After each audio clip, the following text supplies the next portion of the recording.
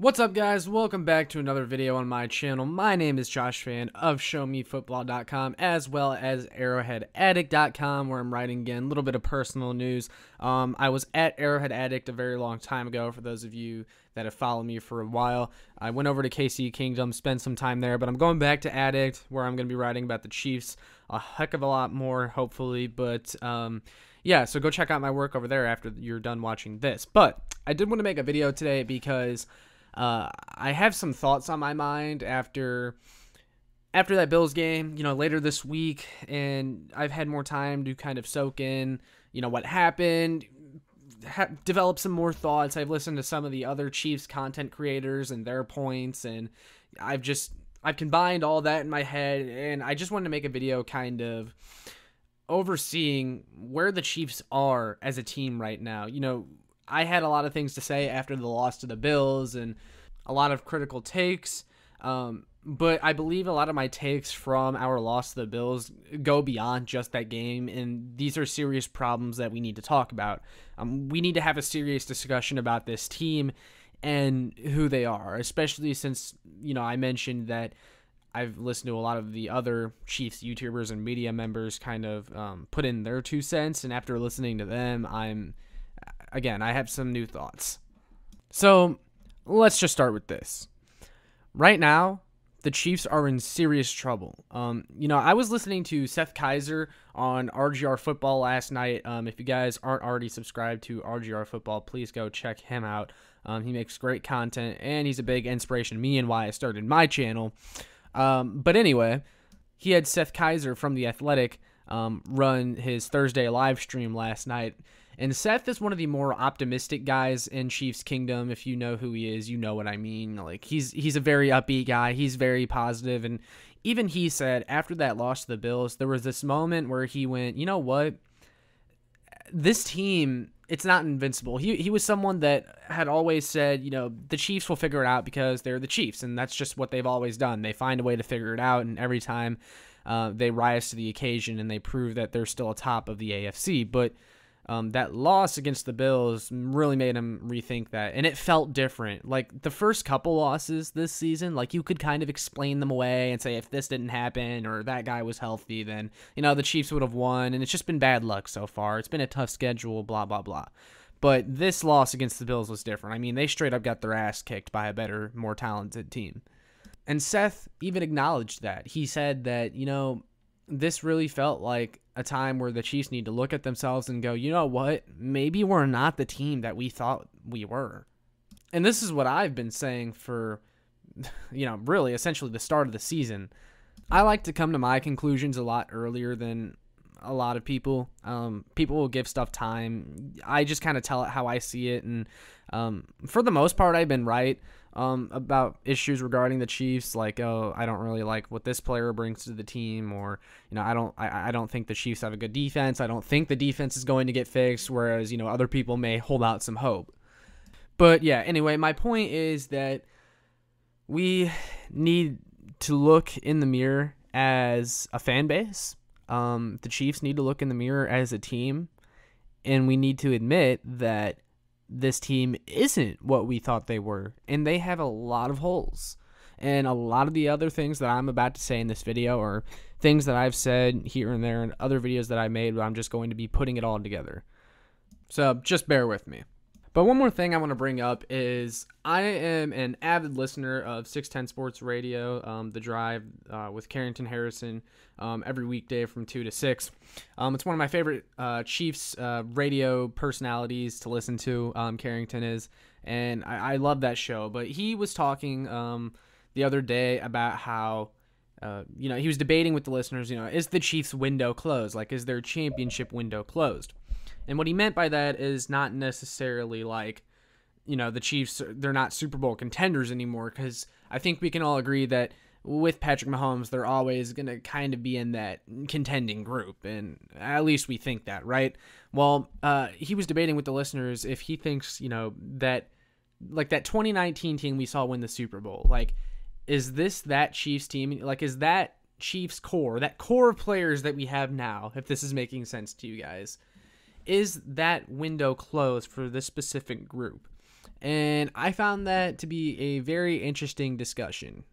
Because with the way that things look right now, I mean, I don't even think the Chiefs are a top three team in the AFC, let alone a Super Bowl contender. Like, they're going to have to make some serious changes this offseason. Like, I've already come to accept the fact that this team is not a Super Bowl contender um, with the 32nd ranked defense in the entire league. And that's really where these issues start. You know, the defense. They the defense is absolutely horrible. Um, I just I don't know how you can be optimistic about the defense going from 32 to like 17. Like it's we're 5 weeks into the season. It's a big enough sample size now where it's like okay, it's not like it, it just took the first few weeks to shake the rust off or anything. Like no, they're just bad.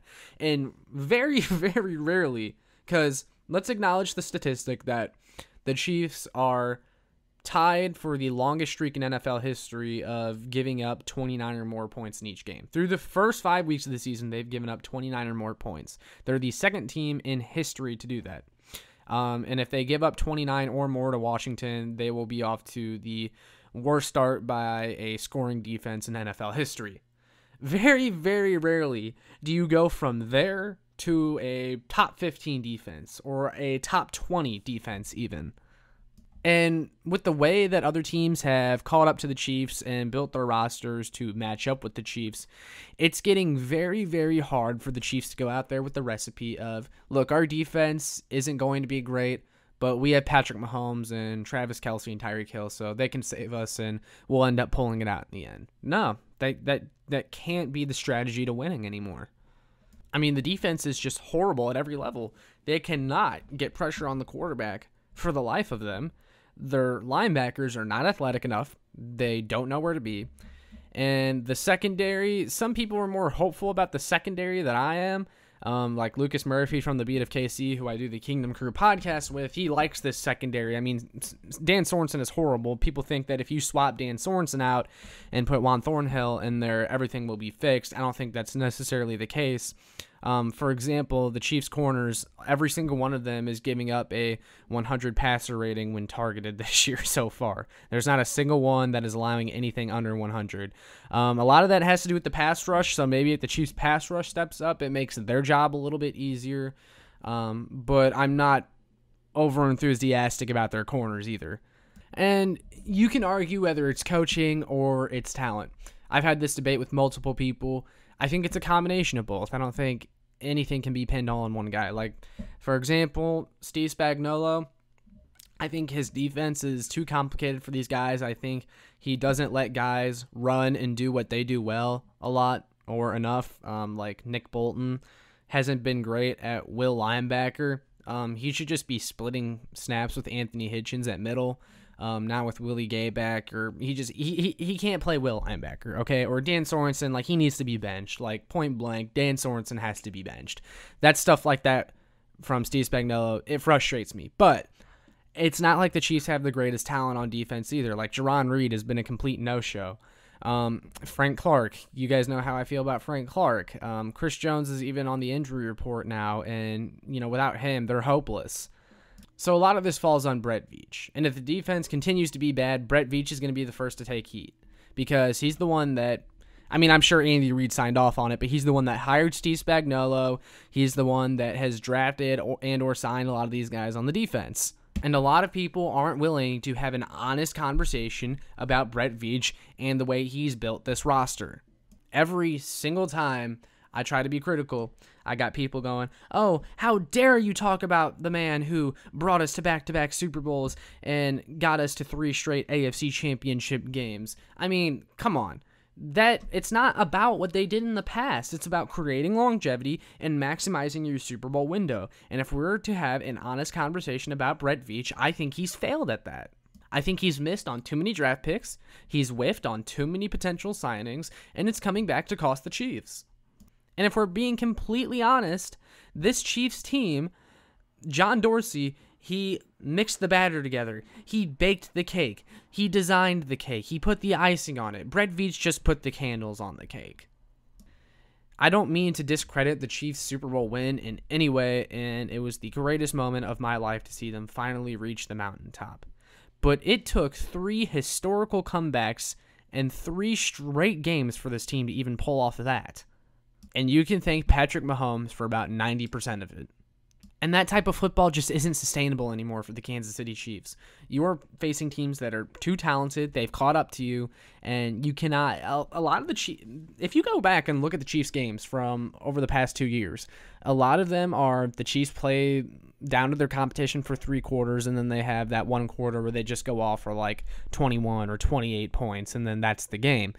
But the Chiefs have put themselves in a position where they're still hoping that they can do that, and it just keeps resulting in losses.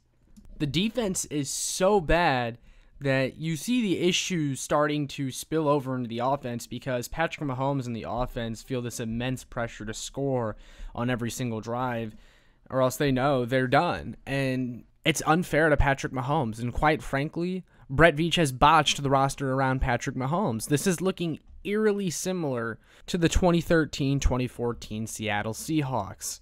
I know a lot of people don't want to hear that, uh, I know Carrington talked about that on 610 Sports Radio, but um, they are eerily similar teams. In fact, I have a couple friends that are Seahawks fans that live in Kansas City um, that I went to the game with against the Bills, and we were talking about it on the car ride home. it, it is crazy how similar they both are.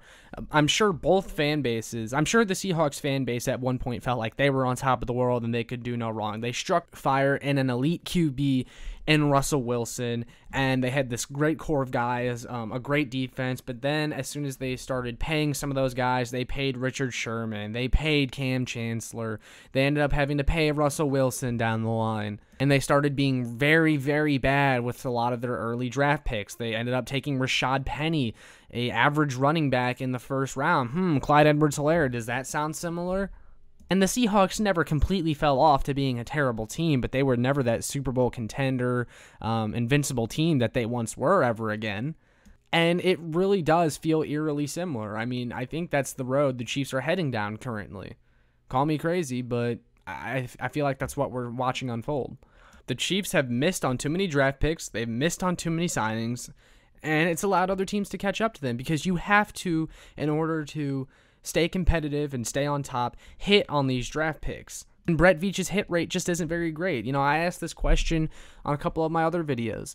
Um, what players has Brett Veach drafted that you would say right now deserve a lucrative second contract beyond their rookie deal? There's maybe one or two you feel like would deserve one in the next few years, and that's just not good enough. Um, if you look at the core of players that are truly, truly great on this Chiefs team, Patrick Mahomes, Travis Kelce, Tyreek Hill, Chris Jones, Tyrann Mathieu. That's the group, okay? And Brett Veach brought in one of those guys, and that was Tyrann Mathieu, a free agent signing. He has not changed the nucleus of this team at all since he's been here and that has to be better. He drafted Breeland Speaks with his first overall pick in 2018. He traded for Frank Clark and gave him $100 million. Then drafted Mecole Hardman, who they then signed Josh Gordon over. He drafted Juan Thornhill, who can't seem to get on the field. He drafted Clyde Edwards Helaire with the first pick in 2020. He paid Anthony Hitchens four years, 45 million. At some point, those misses catch up with you. Now, yeah, Brett Veach has hit on some later round picks, but you know, this team they're going to start needing contributions from their big investments. You cannot keep relying on fourth and fifth round picks to be your main guy. Like Mike Danna, for example. He's a fine piece, he's a fine player. They're asking him to be their number two defensive end, and that's just not who he is. He's not that guy. And really, Brett Veach, people give him all this credit for rebuilding the offensive line. But, you know, he only rebuilt the offensive line when it was too big of an issue to ignore. I felt like they should have invested in it sooner. They drafted Khalen Saunders, who's currently a fourth string defensive tackle over Connor McGovern, O lineman for the Cowboys, who looks amazing. They also took him over Dawson Knox, who just happened to kill you the other night. And the Chiefs focus so hard on patching up this one hole on the offensive line that it seems like they ignored these five other holes that opened up. Like wide receiver two, we all thought that was an issue for the longest time. What did they do to improve that? They went for Josh Gordon after four weeks into the season, and he may or may not work out. Um, defensive end, Their solution to that was to sign Jarran Reed, who got cut from the Seahawks, and then move their best defensive tackle out to defensive end, which made him a worse player ultimately. And they had Melvin Ingram in the building, let him walk. He went to the Steelers for dirt cheap. The next day, they turn around and sign Alex Okafor, who is a non factor. This stuff catches up. You know why the Buccaneers are so good? Because they built that roster the right way. Their secondary is decimated right now, so they've looked a little vulnerable at times. But once they get those guys back, um, like Carlton Davis and Sean Murphy Bunting and guys like that, you know, they should start to look a little bit better. But they have a pass rush. You know, they always had a pass rush. Whenever the Bucks were seven and five last year, the Chiefs fans uh, like to compare um, this Chiefs team and their rut to the Buccaneers. They were seven and five, and they figured it out. Well, you know what? They didn't have a historically bad defense. They had the pieces in place. They were just working on it coming together. This team does not have a defensive line that's capable of what the bucks are capable of doing. That's why they were able to turn it around. The bucks have a great offensive line. They have a great receiving corps they were able to stack up in this last NFL draft because they didn't have a lot of weaknesses. They took Joe Tryon with their first pick in the draft. Joe Tryon looks like a beast right now for them. I'd gladly take him over Frank Clark. Stop letting local analysts and Sunshine Pumper Chiefs fans tell you guys that you're not allowed to be upset about this team. You have every right to be upset that this team is fielding a historically bad defense with Patrick Mahomes at quarterback. We all thought this team was a Super Bowl contender going into the year, and they are two and three through five weeks. They are a Washington football team loss away from the wheels coming off. The division is at stake too. Like I don't think you guys understand. The Chargers look really freaking good. They're legit, and they already have a win over the Chiefs, so they could win the tiebreaker too. The Chiefs are going to have to rattle off like six or seven in a row um, to even get out of this hole right now. And that just looks unlikely with the Dallas Cowboys and Green Bay Packers coming up on the schedule. Heck, I'm not even sure the Tennessee Titans are an automatic win. This team just isn't playing like it. And I just don't know how you could hold out hope that the defense is somehow just going to get better. They're going to bring themselves to 20 or 19th in the league in total defense. And Brett Veach may have to make a move at the deadline. I mean, it, it's it's a rough time for the Chiefs. It really is. Um, you know, if they even make it to the playoffs, assuming they make it to the playoffs, or even the Super Bowl, you know, I don't see them winning if they can't get pressure on the opposing team's quarterback and they can't get a freaking stop because they can't stop a nosebleed right now. I think the Buffalo Bills showed that they're the team to beat in the AFC, and the Chiefs aren't this big bad competitor anymore that everyone is afraid of. No one's afraid of the Chiefs anymore. You know, you're seeing teams go for it on fourth down and a considerable amount um, against the Chiefs defense. They have no respect for this defense, and they shouldn't. There's a lot of blame to go around. Um, I think it starts at the top, though, with Brett Veach. I think his roster building tactics to this point is a huge reason the Chiefs are in the position that they are now. They just haven't hit enough. They haven't. And it's allowed teams to catch up. Argue with me in the comments. Go ahead. Um, that's all I got for this video. Make sure you like, share, and subscribe so more Chiefs fans can find this. And check out my work on ShowMeFootball.com and ArrowheadAddict.com. See ya.